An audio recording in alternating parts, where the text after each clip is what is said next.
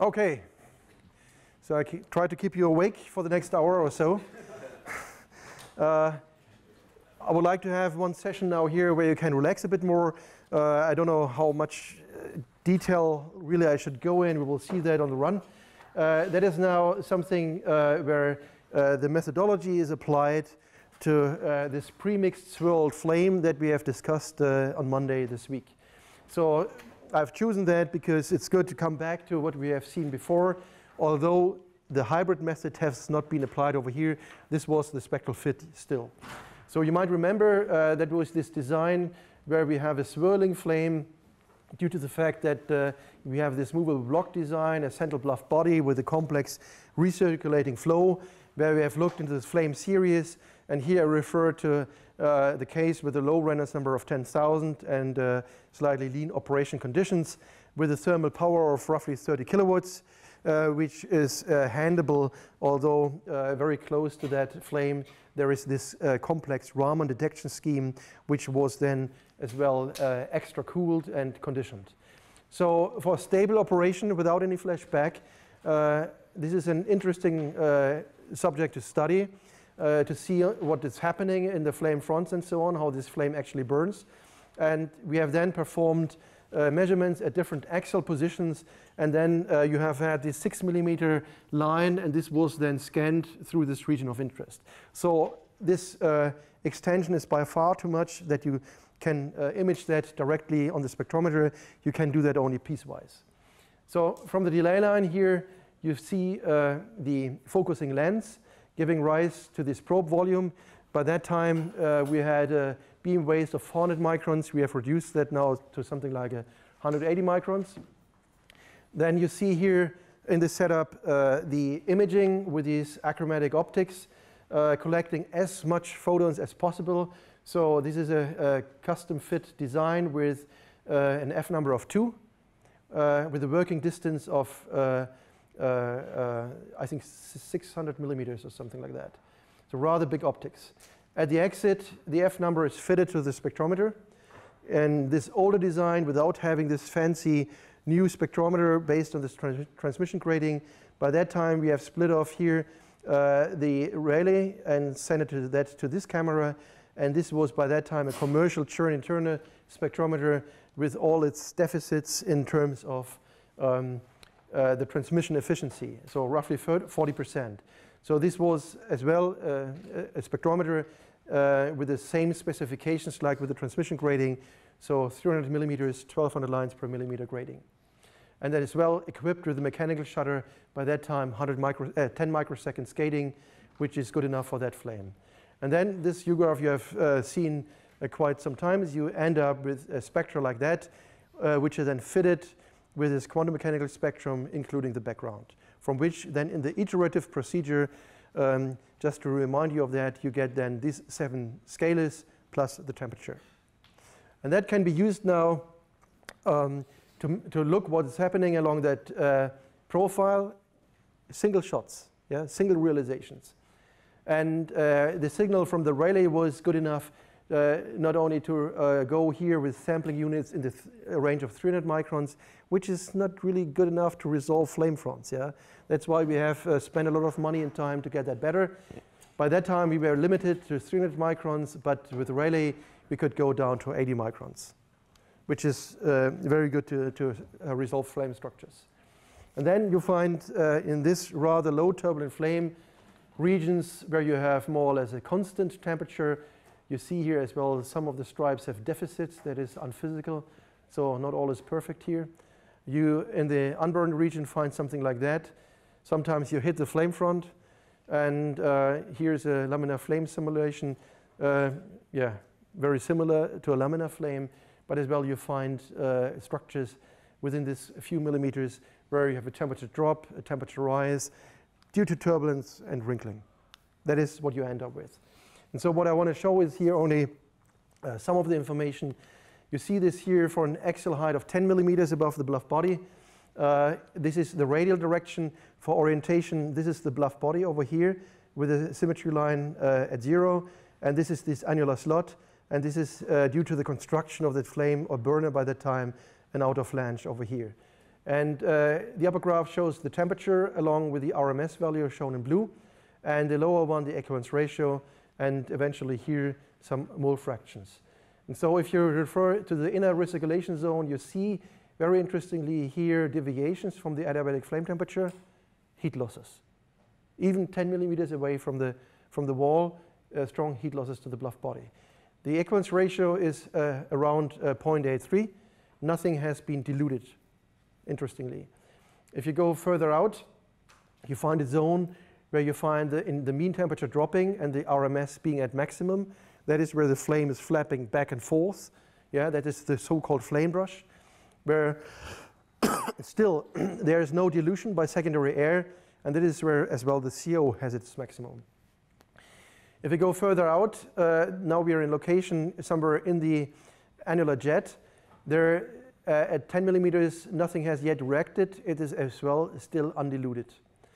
Uh, and further out, uh, you find over here uh, still no reaction. There is some fluctuation that because the flame, because of the outer flange, has as well a recirculation, and there as well some same uh, flame flapping.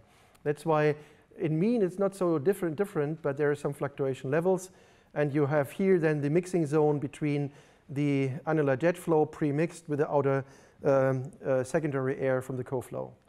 And you can uh, do that now for different heights, and you see what you expect. Uh, the temperature profile is radially now in larger positions. You find this effect of the outer recirculation zone, and uh, the further downstream you get, this, the um, less steep the profiles, the mean profiles are, uh, because of the dilution yeah, and, and spreading. Uh, you have typically these, um, uh, these uh, flame brushes, they, they open up. Yeah? The flame brush is simply getting thicker the further downstream you are. And at some location, maybe here at not at 30 millimeters, at, uh, at 30 millimeters, it's maybe um, uh, still, well, let's see, the flame burns in regions where you not yet have had a lot of dilution of secondary air. If you go to 60 millimeters, then you end up in regions where secondary air has entrained and your local equivalence ratio uh, differs strongly. Okay, maybe a few more things just to get an idea. These mean values and these variances are very interesting. But it's even more interesting to look now into so-called scatter plots. And that is the beauty of Raman-Rayleigh spectroscopy. Now, you can, and shown here is only a small fraction of the samples. You can now um, plot, for example, uh, mole fractions against a reaction progress variable like temperature. And here, this representation of the state space provides much more information. So at 10 millimeters, independent of where radially this data have been taken, you find um, uh, three regions where most of the samples are located. The region A means high temperatures, where all the methane went to zero, so most of that is consumed, and at 10 millimeters, where the equivalence ratio is still that from the feeding pipes from the nozzle. The region B over here, uh, that is where you have a low temperature, yeah, room temperature still, but a high level of CH4 at equivalence ratio of 0.83. And this means this is a cold, unburned fuel mixed uh, with air, of course.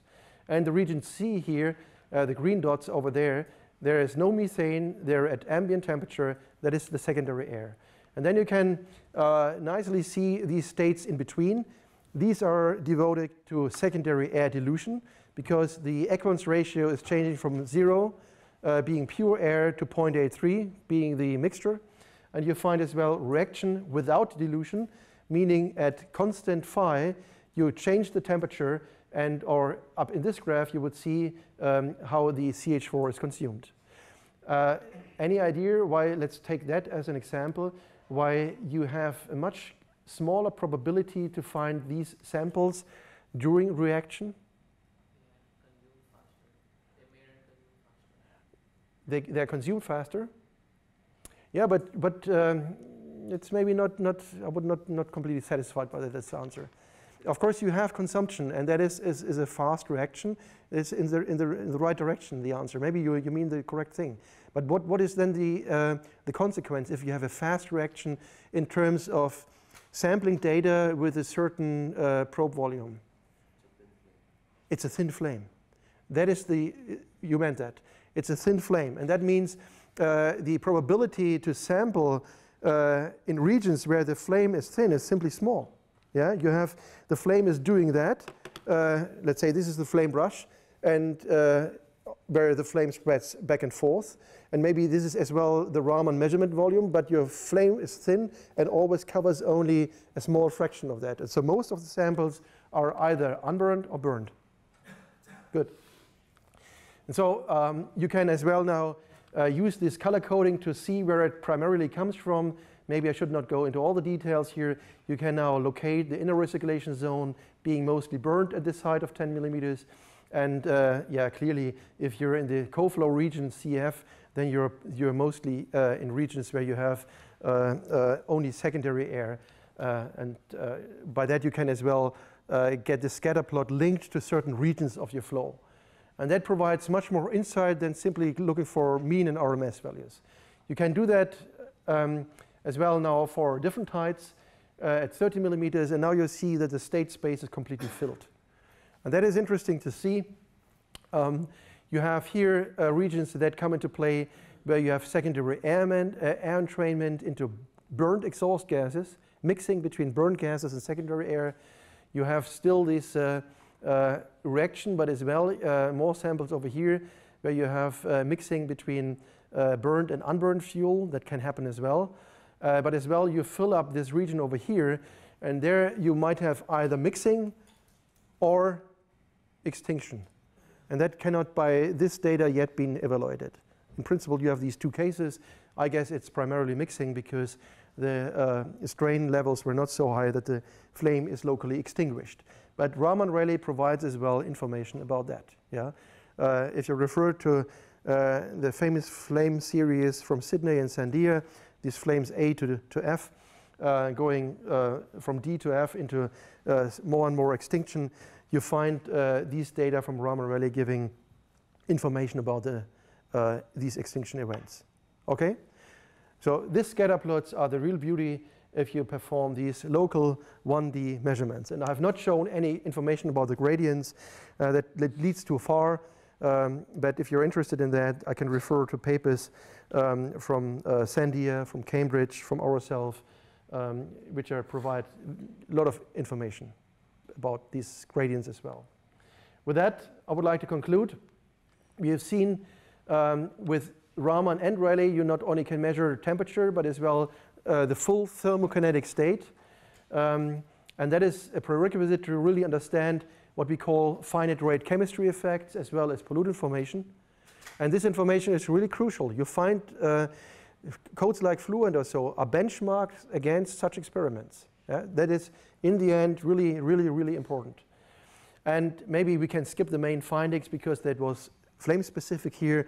Uh, if you're really interested, I, I uh, sent around yesterday as well um, a more comprehensive review. If you're interested into that, you might uh, use the references inside there or read that chapters which are dealing with uh, Raman spectroscopy. Okay, with that, I would like to close that chapter, unless you have questions.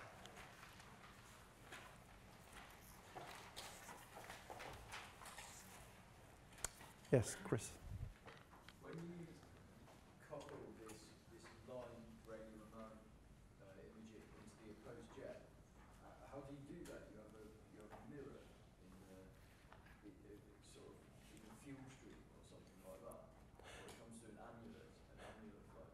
So the question is how to use that uh, technique in an opposed jet flame. So you have two possibilities um, where one is clearly preferred. Um, I have to put in a new tr transparency here.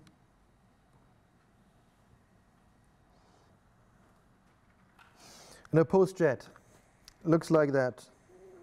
One nozzle maybe with turbulence grid, the other nozzle, possibly with turbulence grid. One possibility, of course, is to send in the laser like that, but that's not very good because your, your flame, your turbulent flame is like that, and uh, then you have not only beam steering, the, the, really, the interesting region uh, is uh, in this direction. And so um, I think it was only in De Geyer's dissertation uh, in my lab, he has uh, solved that problem uh, by having here a certain inlet with, with uh, uh, a tube going up to here, which was closed with a window. And then there was a mirror somewhere here. Actually, it came from the bottom. I was always afraid that he shoots away his eyes. where you have had here a mirror, uh, that came then from the table, from the laser cluster, uh, brought down to the floor, and then with the mirror brought that up somewhere with the uh, lens over here, such that the focus was in this region, and having then uh, the detection uh, from the side. Of course, along that uh, turbulent flame located in the stagnation flow. Not so sure about the beam steering, that can be an issue. But with that, um, he was able, in his dissertation, to to monitor then in this partially premixed flame as well scalar dissipation rates uh, along this, this direction. It's no fun. but having the flame like this oriented, of course, is better because of buoyancy. If you would flip that, then, then it's not a symmetric flame. But then it would be much easier to send it through. But uh, there's no choice. You have to send the beam through the nozzles. Okay, then we uh, completely switch gears and uh, go to something which is uh, maybe more fun. Um, where is it?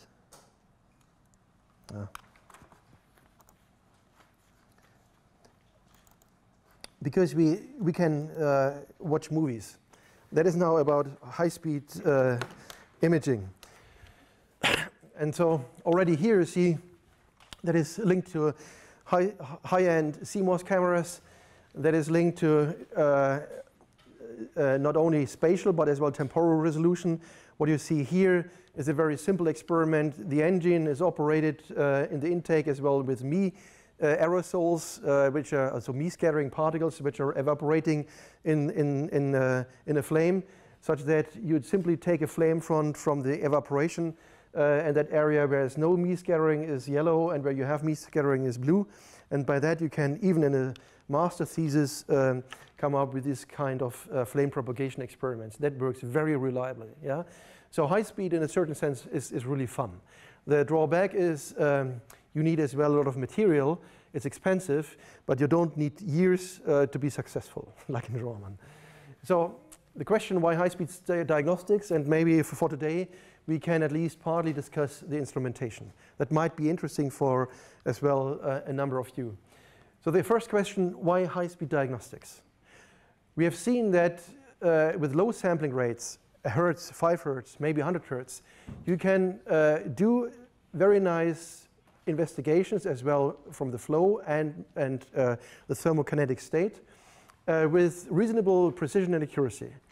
But the effort is high, but it's justified uh, when you are really interested in uh, single point statistics, maybe two point statistics, or in the example of the Rayleigh-Raman spectroscopy in scatter plots. I just want to remind what we just have seen.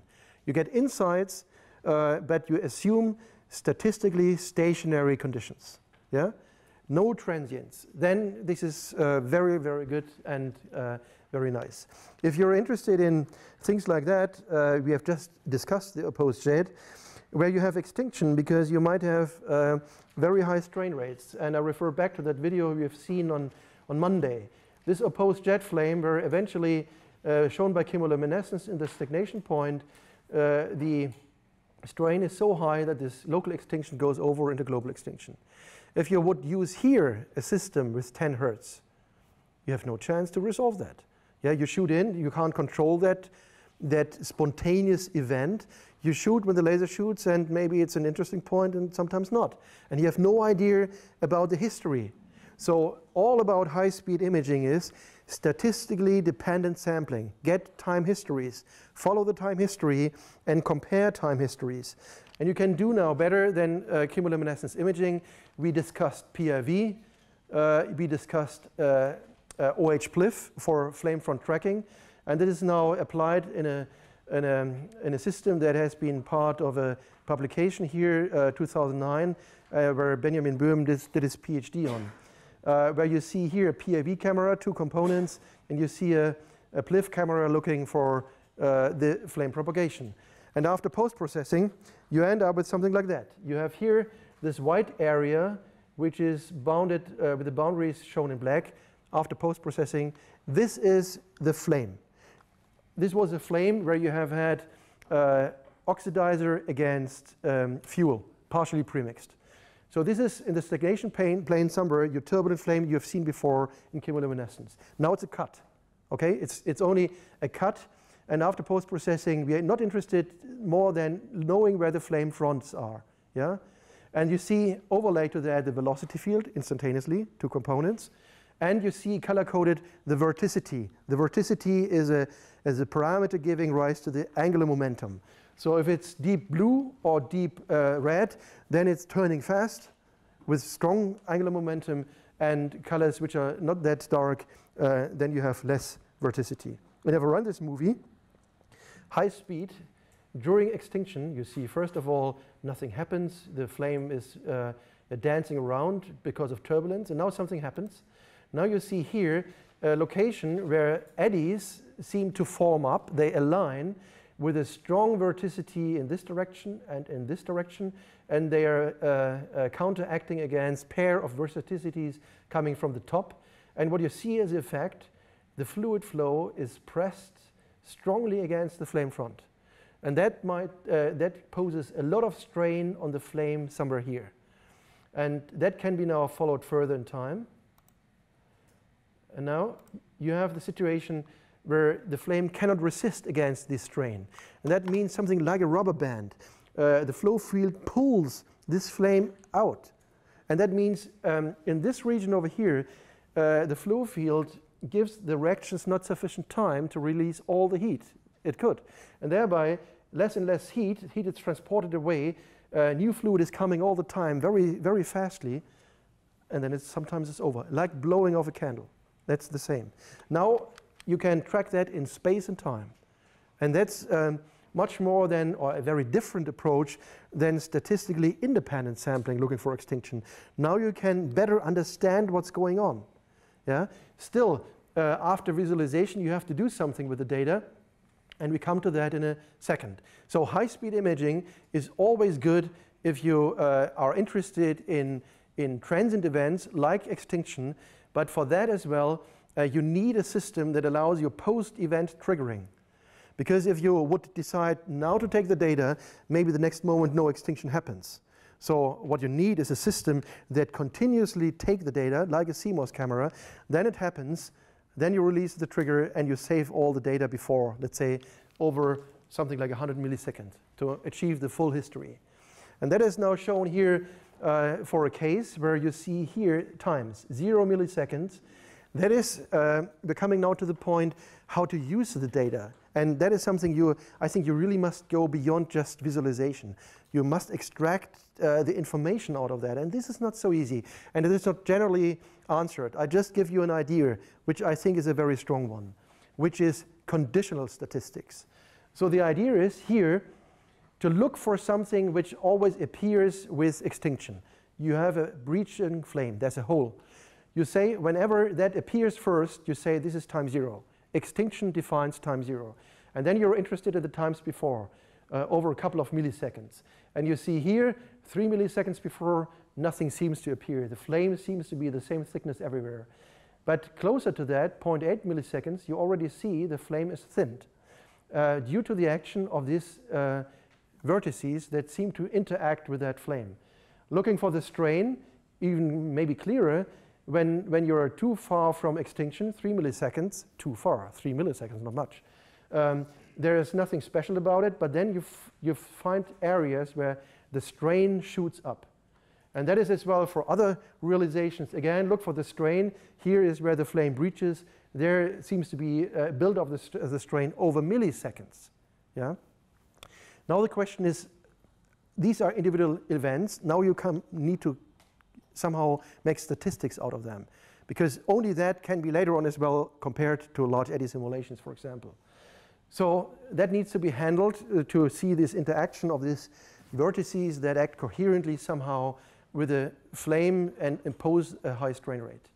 And one possibility is now that you do the following. The extinction in your field of view happens at different locations.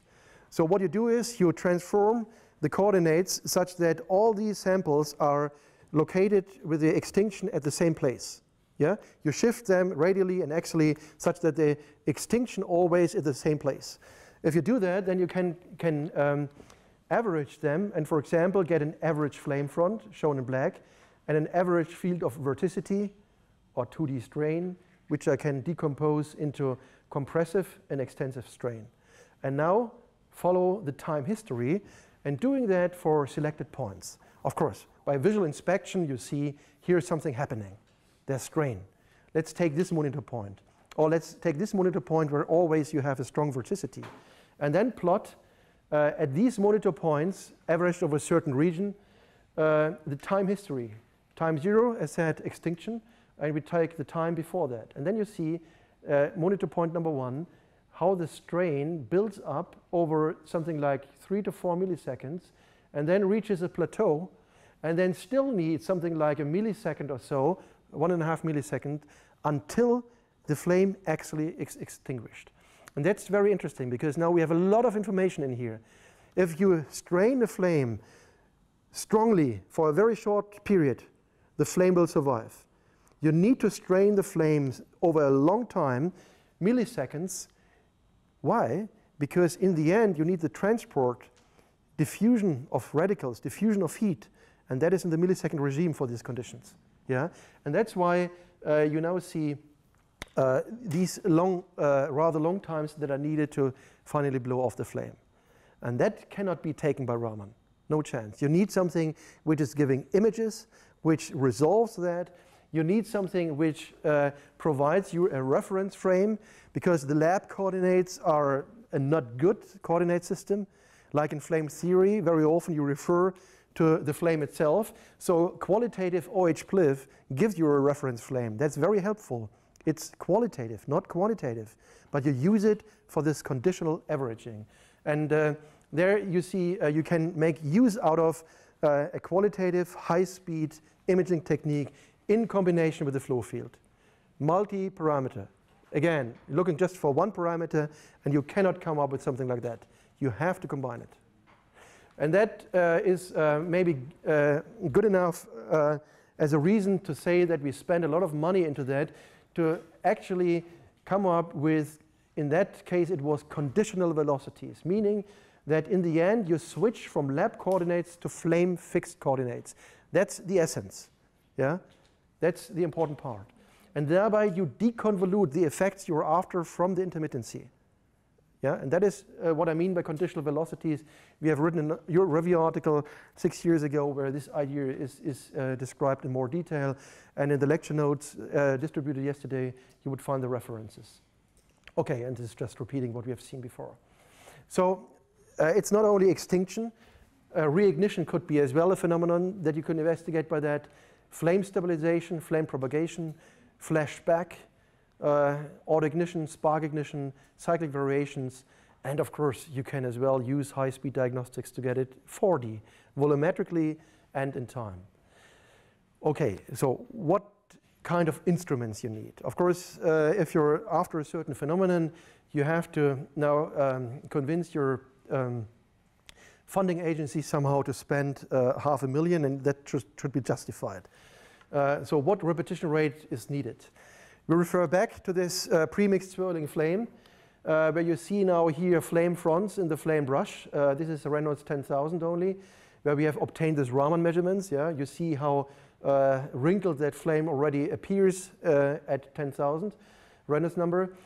We have seen the integral time scale can be estimated based on um, LDV measurements, for example, um, such that you have here something like a millisecond then you say to discretize uh, this integral time scale maybe with a factor of uh, uh, 10 samples within that time scale, you end up with 100 microseconds or 10 kilohertz. And to convince yourself, these are the same data to the left and the right. To the left, only every second is played. To the right, each frame is played.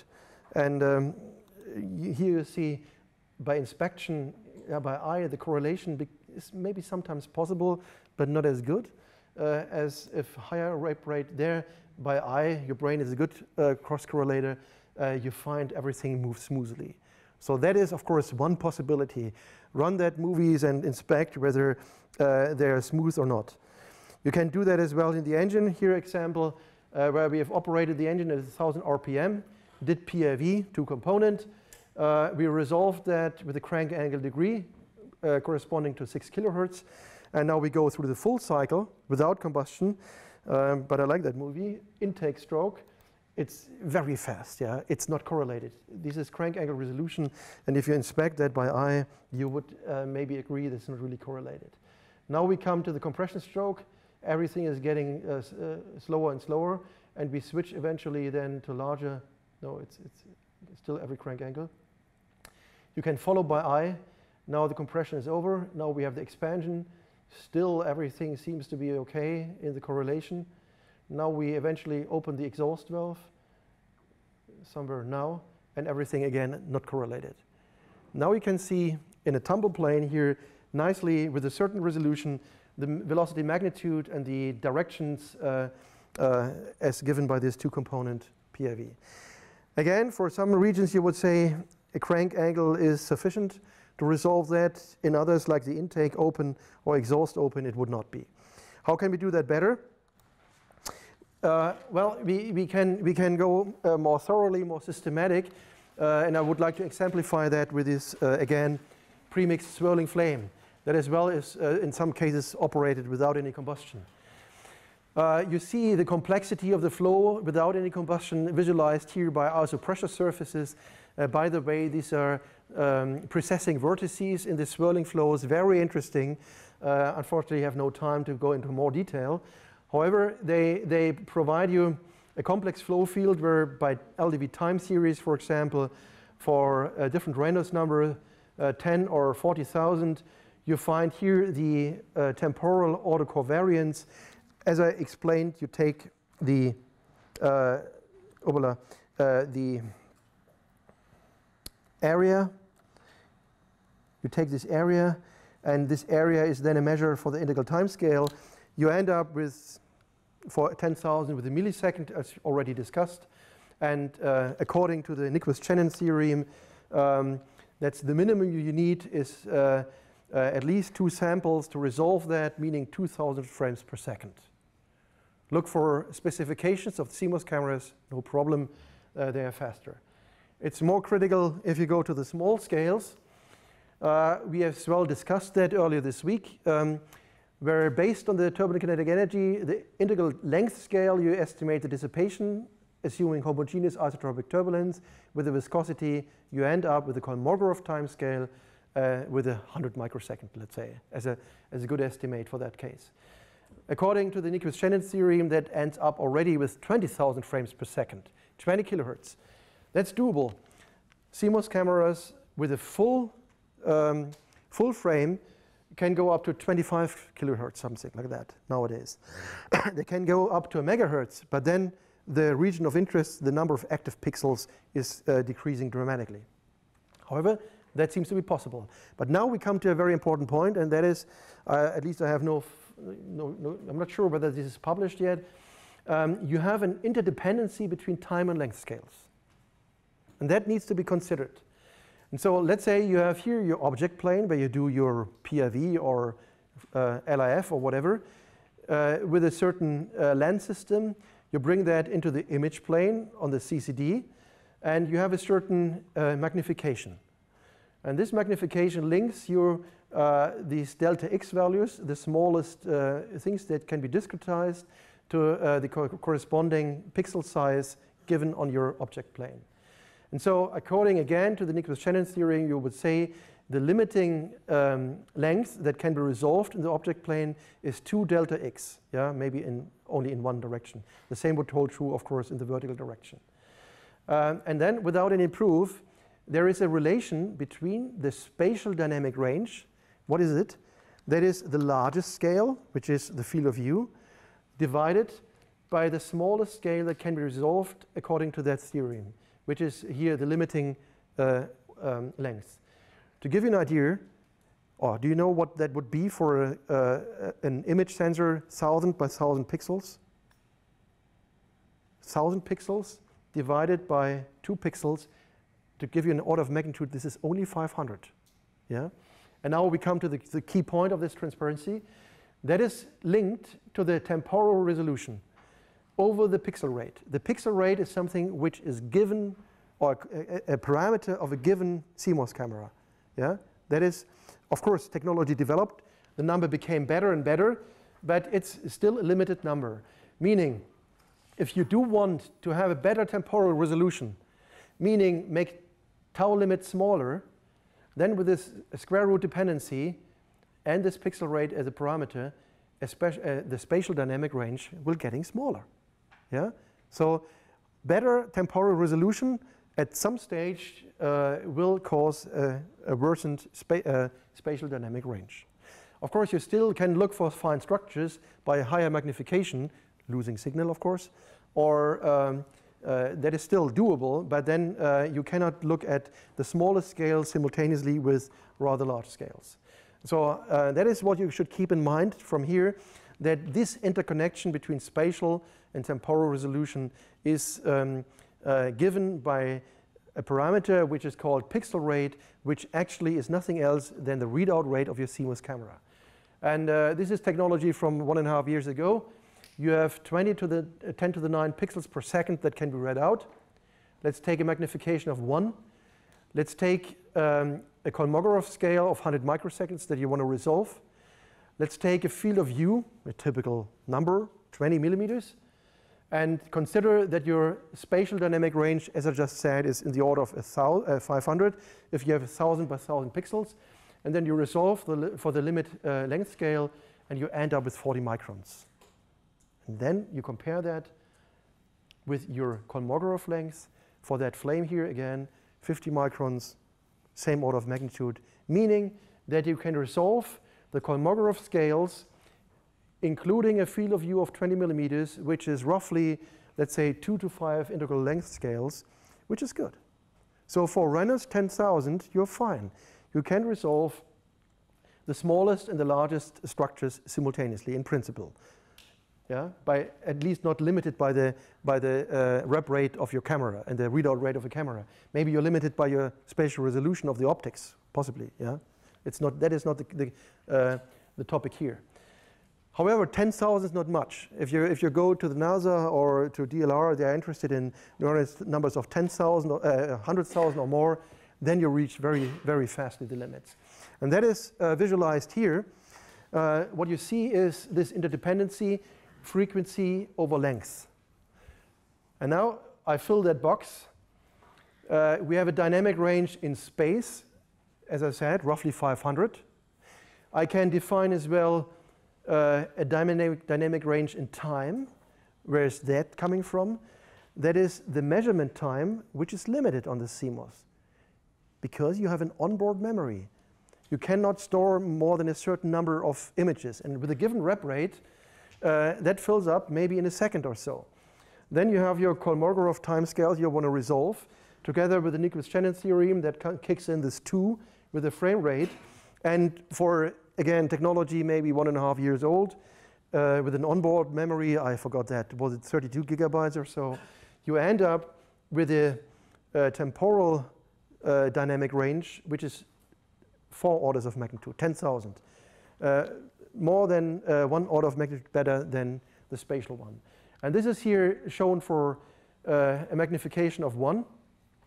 The maximum pixel rate, uh, readout rate, oh, sorry, the maximum frame rate is maybe 25 kilohertz uh, for that uh, current technology. So up to that, you can, you can shift your box.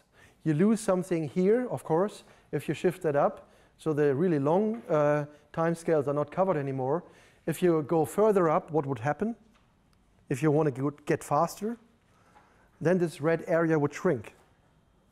Or you change the magnification and you can shift your box. So this kind of, let's say, uh, uh, estimations should be done before you do the experiments to really see whether you're able to resolve what your question is. Without that, uh, uh let's say, pre-investigation as a reviewer, I would, I would not allow that uh, project to go, yeah, because you have to show that it's working. Okay, examples where this high-speed diagnostic is really important. it's not only transients that, that are to be discussed. Uh, already mentioned them, I don't have to repeat them. It is well those applications where you can afford only a few realizations. Uh, like shock tubes. Uh, well, there are as well developments to, to fire shock tubes faster, but many shock tubes can be operated only, let's say, a couple of times per day. And then, of course, you're interested to get as much data as possible. Or uh, when I refer back to this gas turbine combustor we're looking at, PIV, seeding particles going in, solid seeding, the, the optical windows are covered within a couple of seconds. 10 hertz PIV, oh gosh, no. High-speed PIV, there it's not the, the uh, correlation you're maybe after. There is getting as much data as possible until you have to uh, uh, open the system, clean the system, and uh, redo the experiments. The transients, I think, are clear. So, um, but as well, uh, very nice uh, if you have these high rep rates. In principle, you can do then something like quasi 4D diagnostics. And that is as well a topic to be discussed uh, uh, then uh, tomorrow, where high-speed lasers and cameras are, are interesting. And so you have seen that already. Here are some reviews as well in these lecture notes we provided to you, where you can read more about as well uh, this conditional averaging, which is in, in our review article in Flow Turbulence and Combustion. So we now should have a closer look into the requirements of the lasers. And that's maybe something we still can do uh, today. You have different options about high power lasers uh, with high rep rates. So they can be classified into systems where you have a low duty cycle but high pulse energies. A low duty cycle means that maybe only every second you can extract a number of pulses. Um, it's maybe not the first group, but uh, at least that came to my mind when I prepared the transparencies. Marcus Aldén, 20 years back in Lund uh, in Sweden, was uh, one of the uh, first who used a cluster of four conventional YAG lasers, similar to what we still use in Raman, uh, frequency doubled and extracted up to eight pulses with up to 500 millijoule per pulse.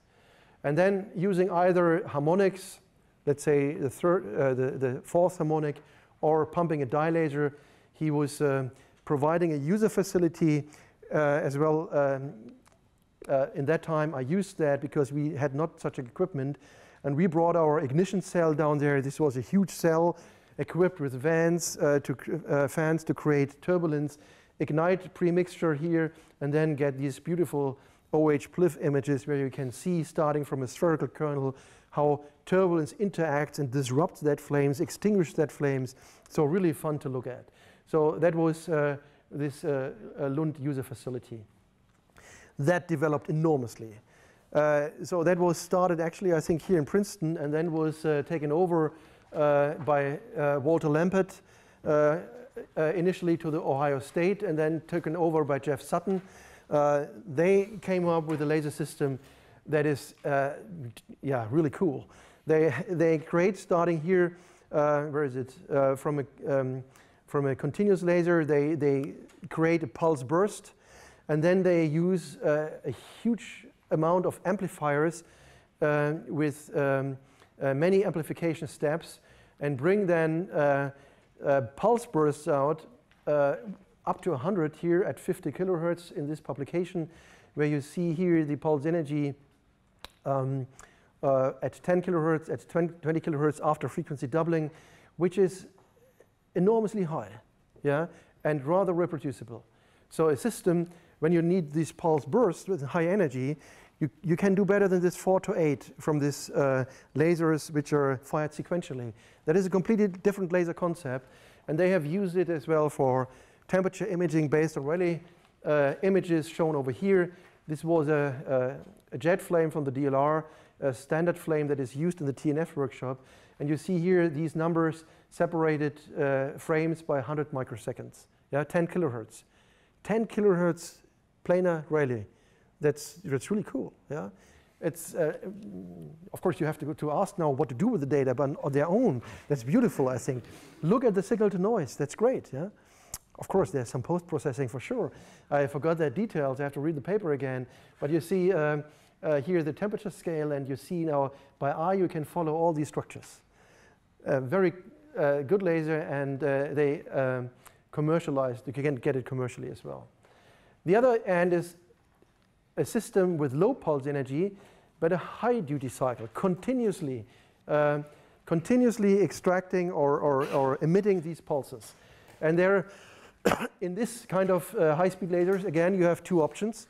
One option is long, pul long pulse lasers, typically more than 100 nanoseconds, where because of the long pulses, the intensities are low. That's why you need an intracavity conversion uh, of, uh, from the infrared to the visible to the UV. Yeah, that is intracavity. And thereby you have less flexibility. Uh, another sort of lasers is uh, working with, um, with uh, short pulses, where the intensities, although the energy is low, uh, you can uh, do the extracavity conversion into the visible or then as well UV.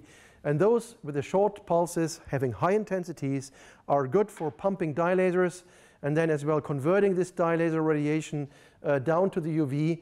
And you find here uh, that is now as well a couple of years old, uh, but that has been done um, in cooperation between a German company and uh, um, a group here in the US. They extracted 550 kilohertz dye laser. Uh, no, this was a pump laser, 50 kilohertz, 200 watt pumping a pure dye laser, and then uh, achieving something like 7, 7 watt at 283.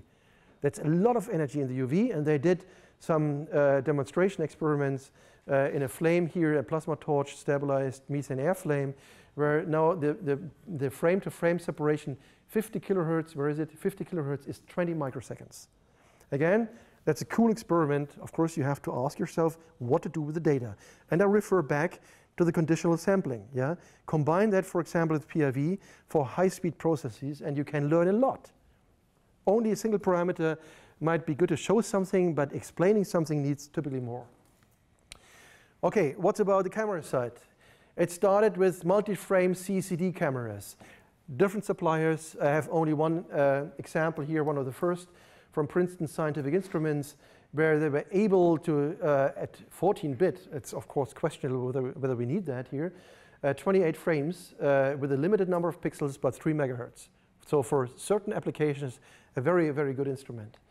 Uh, the other option is, and that is why I, I, just show here some more details, is these CMOS cameras. Yeah, the CMOS cameras where you have, uh, in, in, in difference to the CCD, in CCD you read out pixel by pixel. That's a serial process. In CMOS, you do that parallel. That's why it's so much faster.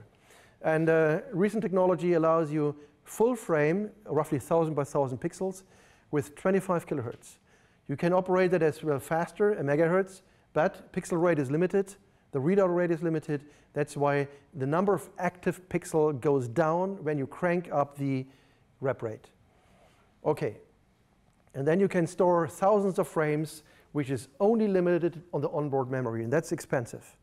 Yeah, and so you have to decide before whether you want to have 32, 64 gigabytes because sending the camera back and increase that memory is more expensive than uh, directly buying it. Examples, not only Phantom, I should be careful here, as well Photron uh, provides uh, similar instruments or uh, a company in Munich uh, called PCO. But uh, you have to be careful when you use these CMOS cameras. And that is something I would like to um, uh, briefly explain uh, before we uh, have then a break with lunch. Um, first of all, CMOS cameras have been the primary market, for example, in crash tests. Yeah? And so they are just used to visualize things.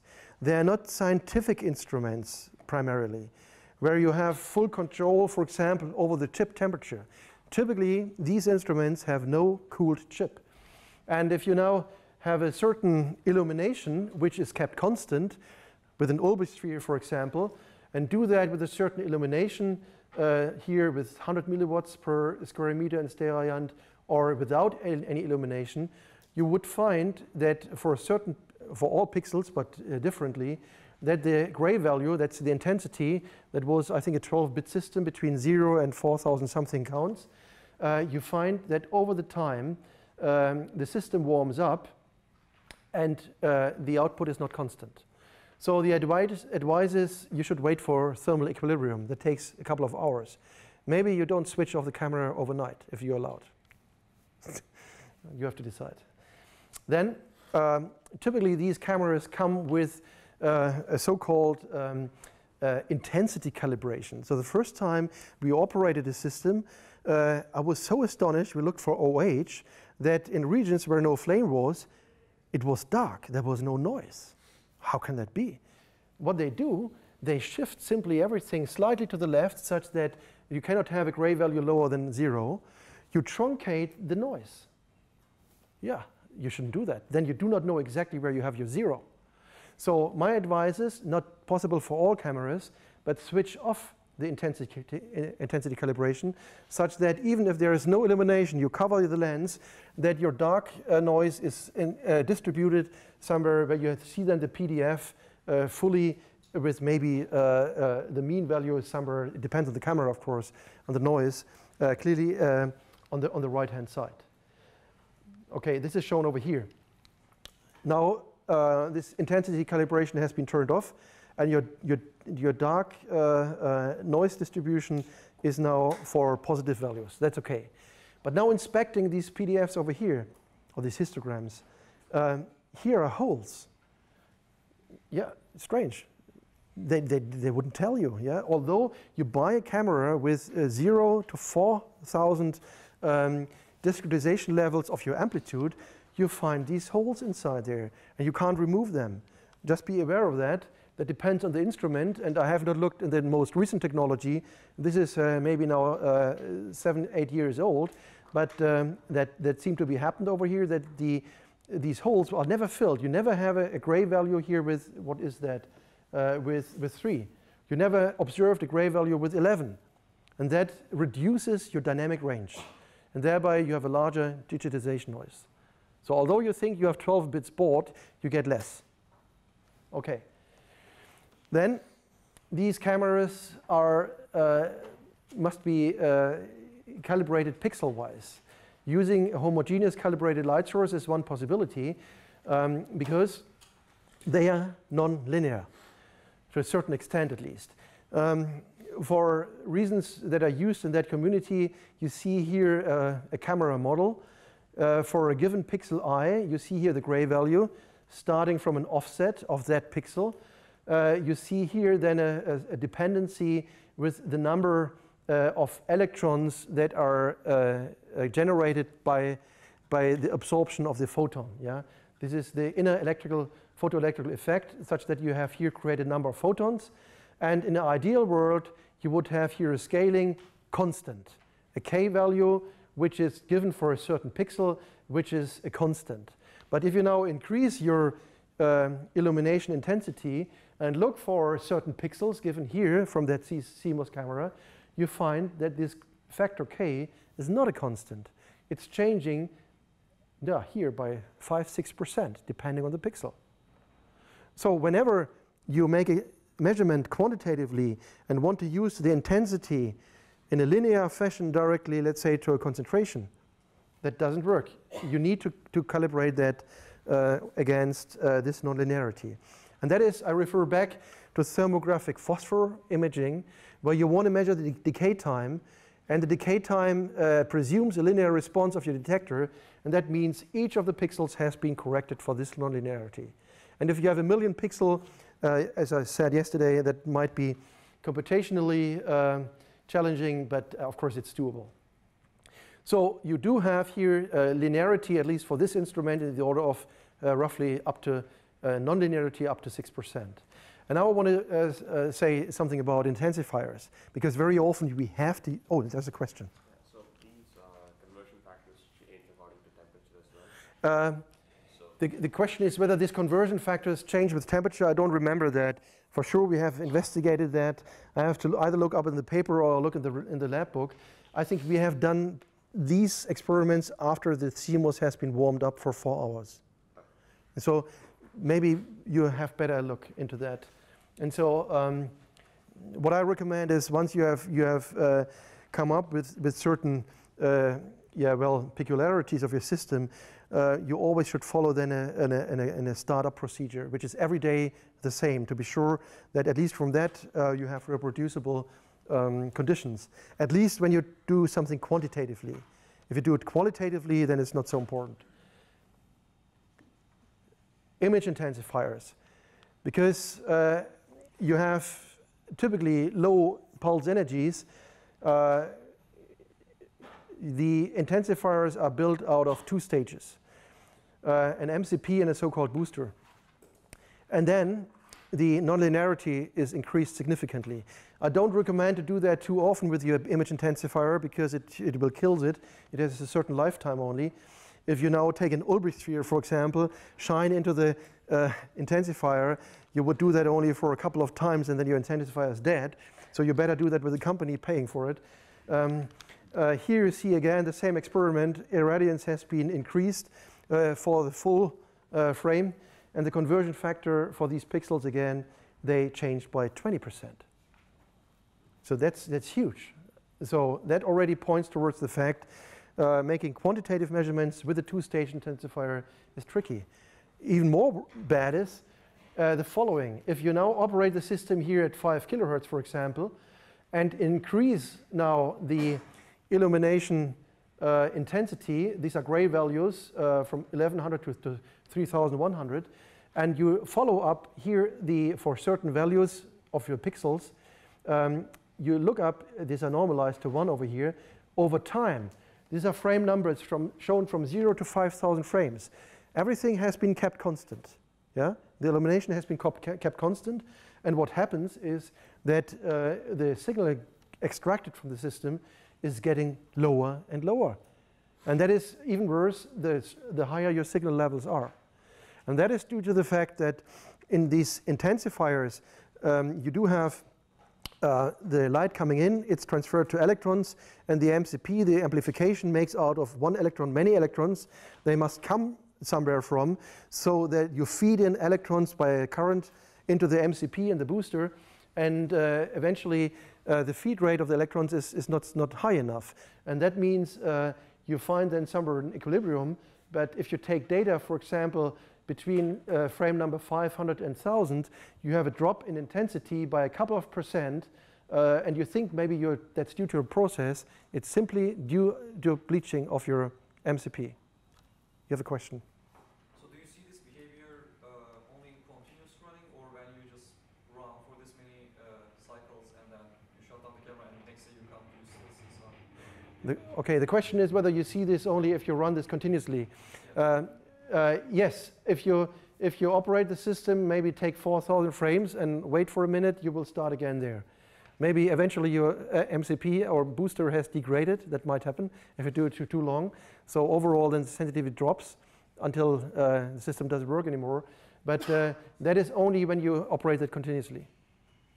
And the same holds true here if you have a constant illumination intensity but crank up the uh, repetition rate uh, for this constant illumination from 5 to 30 kilohertz, you see the same. And so that is uh, something that needs to be um, considered uh, and of course is getting worse when you have a lot of signal. Yeah? If you don't, if you have, like, for example, you make, if that would happen, uh, CH-LIF and you have information only in a small stripe and the rest is black, then it's not a problem. But if you look for chemiluminescence or when you look for OH-LIF, where potentially a lot of the uh, image is covered by high intensities, then it can be uh, make a make a difference. And that's why for uh, those reasons, um, some of the experiments as well in my lab uh, are operated such that we use the data only after uh, at least 2,000 frames have been taken. So we don't take the information then from the first 2,000 frames until we have reached, dependent on the on the level, something like a plateau, uh, where then the changes are not so strong anymore. And so it's of course difficult to account for that because it depends on the signal intensity, the frame rate as shown over here, the exposure time not shown, the illuminated area. And so in the end, you need something like an in situ calibration. Yeah, you have just be aware of that fact. Yeah, what is now uh, to be preferred? We had that uh, early on in discussion here as well. Whenever possible, uh, use an unintensified CMOS camera then uh, once you have switched off this uh, intensity calibration, once you have corrected for the nonlinearity, you can come down to a noise level of percent, which is acceptable for many applications. If you do the same for an intensified CMOS camera with its two-stage intensifiers, even if you have corrected for the nonlinearity, uh, even if you are aware of the fact that there is signal depletion, uh, I don't have a best practice advice here how to do that. Even, even if you do that, you end up at best with something like 4 to 5%. It's still, for many applications, good enough to say this is quantitative, but it's limited. And what I have not discussed is that these intensifiers always come along with halos. Yeah, if you have a spot illuminated, let's say you have a sharp edge, in reality, in, in practice, you will see something which is blurred like that. It's something you cannot prevent. And I call that halos, and uh, those uh, change your, your, um, your contrast. So how to deal with that, I don't know. really, each CMOS camera might act differently. Intensifiers are differently. They change their properties with lifetime. So actually, we would need something like a best practice advice. But uh, there is a group in Europe working on that and from different institutions. But they came up with some advice, but not really, not really usable for us. It is more for industrial imaging and less for uh, the needs we have in combustion diagnostics. So still, I would say that is open ground to a certain extent, although it's difficult to find funding if you're working in the field of combustion. That is something we try to do on the site. Yeah, with that, um, I would like to close that chapter 8a. So we have for tomorrow morning then uh, chapter 8b, which is a bit more fun in terms of videos. And uh, then you'll see as well the application example. So in case you have any questions, uh, maybe we have time for one or two of them. I expected that. You're hungry? okay, thanks a lot.